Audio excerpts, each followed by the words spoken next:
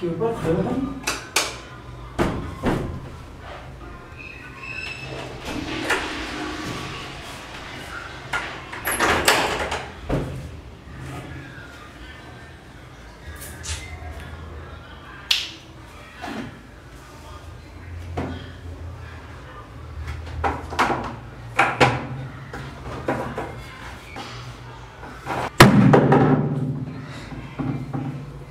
okay shirt रखो